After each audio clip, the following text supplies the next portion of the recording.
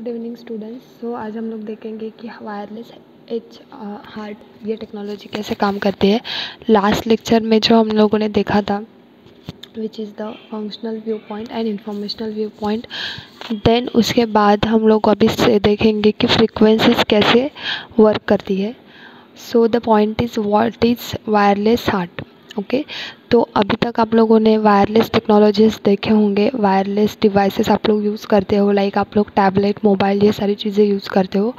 तो वायरलेस यानी कि जो आप लोग वायर से कनेक्टेड नहीं करते और जो डिवाइसेस फ्रिक्वेंसीज़ पे वर्क होते हैं या फिर उनका जो फंक्शनलिटीज़ है, ये बेस्ड होता है फ्रिक्वेंसी के ऊपर तो ऐसे डिवाइसेस जो है वो वायरलेस कहलाते हैं। और ये वायरलेस जो डिवाइसेस रहेंगे वायरलेस डिवाइसेस के लिए आपको जो सपोर्ट करता है या फिर जो प्लेटफॉर्म रहता है दैट इज़ फ्रिक्वेंसी ओके तो ये फ्रिक्वेंसी हम लोग हर्ट्स में काउंट करते हैं दैट इज़ एच जेड उसका यूनिट है और ये जो फ्रिक्वेंसी रहती है, ये ऐसे आप लोग बोल सकते हैं कि एक लेयर रहता है, कि ये लेयर थ्रू आप काम करोगे और वो फ्रिक्वेंसी से आपका जो डिवाइसेस है वो कनेक्ट हो जाते हैं।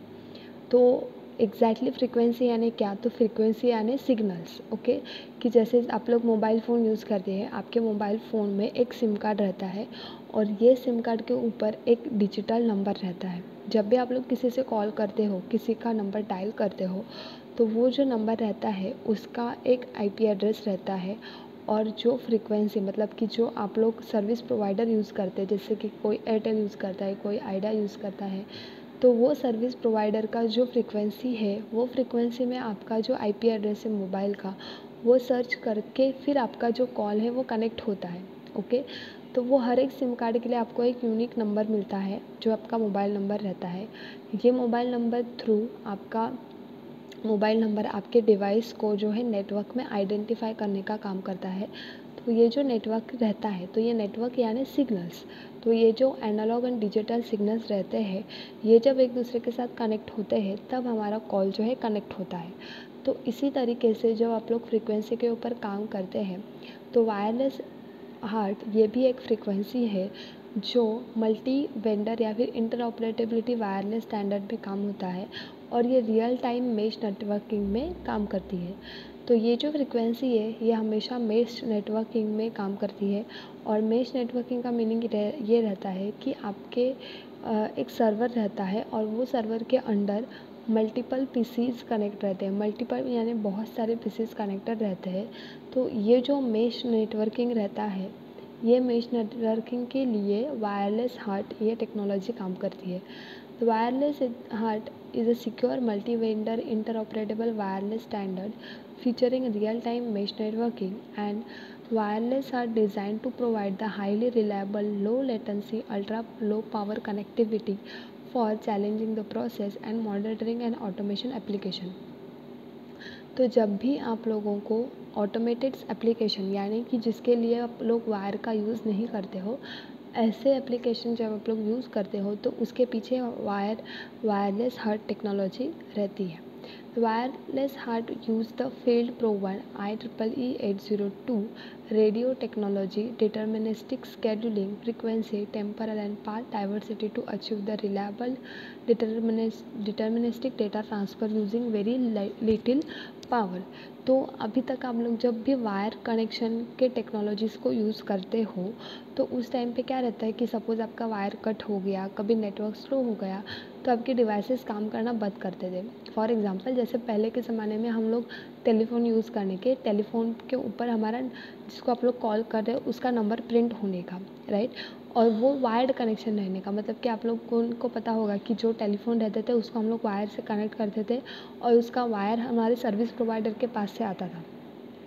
और अग, अगर अभी के इसमें आप लोग देखोगे तो जैसे अपना वाईफाई कनेक्शन है दो तरह के वाईफाई कनेक्शन आपको मिलते हैं। एक रहता है वायर्ड और एक रहता है वायरलेस वायर्ड कनेक्शन जब भी आप लोग लेते हैं तो आपके जो घर के ऊपर वो एक ऐसे डिवाइस लगा के जाता है जिसको ए पी डिवाइस बोलता है। वो A P device signal capture करता है, फिर वो वायर थ्रू आपके लैपटॉप में वगैरह इंटरनेट चलता है ओके वायरलेस कनेक्शन यानी क्या? कि जब आप लोग डोंगल यूज़ करते हैं, या फिर आप लोग वायरलेस राउटर यूज़ करते हैं, कि एक राउटर पे आप लोग फिफ्टी मोबाइल को जो है कनेक्ट कर सकते हैं। तो ये क्या है? सिग्नल जो ट्रांसपर्ट होते हैं या फिर सिग्नल्स जो लो पावर के ऊपर चलते हैं ऐसे जो सिग्नल्स रहते हैं, वो वायरलेस हर्ट सिग्नल रहते हैं। यानी इसके अंदर आप लोगों का डेटा जो है ट्रांसपर्ट ट्रांसफ़र हो जाएगा एक डिवाइस से दूसरे डिवाइसेस में विथ वेरी लिटिल पावर। यानी पावर कंजम्पशन सेव होगा मतलब पावर कंजम्पशन नहीं होगा। आपका जो बैटरी बैकअप है, वो अच्छा मिलेगा आपको। प्लस आपका जो काम है, ये भी बहुत जल्दी हो जाएगा, ओके? तो ऐसी फ्रिक्वेंसी कौन सी है? तो LTE तो एल ऐसी फ्रिक्वेंसी है जो वायरलेस हार्ट टेक्नोलॉजी या फिर वायरलेस हार्ट टेक्नोलॉजी को सपोर्ट करती है। तो एल यानी लाइट इमिटिंग डायोड ओके मतलब कि इसके अंदर क्या रहता है कि आपका जो डिवाइस रहता है, वो कम पावर में बहुत ज़्यादा वर्क करता है। और इसका एग्जांपल है, जैसे फोर जी टेक्नोलॉजी अभी हम लोग जो यूज़ करते हैं तो फोर जी के मोबाइल जो रहते हैं कंपैरेटिवली थ्री जी के मोबाइल आप लोग खुद एक्सपीरियंस किया चीज़ को। या आपने थ्री जी का भी मोबाइल यूज़ किया है, आपने फोर जी का भी मोबाइल यूज़ किया है तो आप लोग देख सकते हैं कि फोर जी का मोबाइल बहुत ज़्यादा स्मूथ रहता है comparatively three G mobile right कि उसका इंटरनेट भी फास्ट चलेगा आपका वीडियो बफर भी नहीं होगा। बिकॉज़ इसके अंदर जो सिग्नल पास होते हैं, जो फ्रिक्वेंसी पे ये फोर जी नेटवर्क चलता है, वो फ्रिक्वेंसी फास्ट वर्क होती है। तो वायरलेस हट का एक सबसे बेस्ट एग्जांपल है फोर जी टेक्नोलॉजी देन वो फोर जी टेक्नोलॉजी में भी अभी अपग्रेशन आया है। So now we can use the five G technology also also the five G is the largest generation of cellular connectivity third generation partnership project that is three G is the standard organisation responsible for the generation and maintenance the mobile telephone standard including four G L T E and five G The International Telecommunication Union is another international standard organized involves the development of 5G requirement. तो 5G जो technology है, जो अभी के कुछ Android को support करती है, अपने फ़ोन को इतनी जल्दी सपोर्ट नहीं करेगी।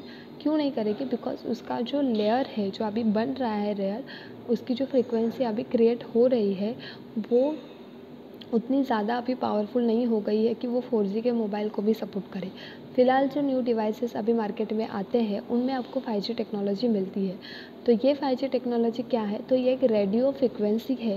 ये analogue and digital signals pass करेगी और वो जो लेयर पे पास करोगे दैट इज़ एट लेयर मतलब कि वो एट लेयर पे काम करता है और इसके लिए इसके लिए फाइव जी टेक्नोलॉजी में इंटरनेट कनेक्शन जो आपको मिलेगा, वो बहुत ज़्यादा फास्ट मिलेगा कंपेरेटिवली फोर जी मतलब फोर जी का आपका स्पीड अगर एम बी पी एस में है one M B P S में है तो फाइव जी टेक्नोलॉजी में आपको डबल स्पीड में मिलेगा।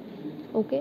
तो ये क्यों बिकॉज़ ये क्यों पॉसिबल है या फिर ये क्यों होता है? Just because of the wireless HART technologies ऐसे बहुत सारे टेक्नोलॉजीज़ है। उसमें से एक एग्जांपल है वायरलेस हार्ट रेडियो फ्रिक्वेंसी और ये रेडियो फ्रिक्वेंसी सिग्नल को ट्रांसमिट करने का काम करती है, जिससे आपके कनेक्शंस जो है वायरलेस क्रिएट होते हैं। ओके?